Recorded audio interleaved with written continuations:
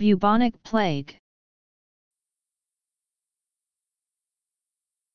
Medicine, a contagious, often fatal, epidemic disease caused by the bacterium Yersinia pestis, transmitted by the bite of fleas from an infected person or rodent, especially a rat, and characterized by delirium, chills, fever, vomiting, diarrhea, and the formation of buboes.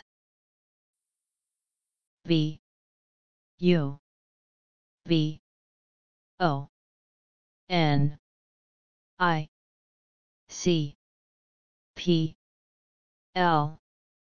A. G. U. E. Bubonic plague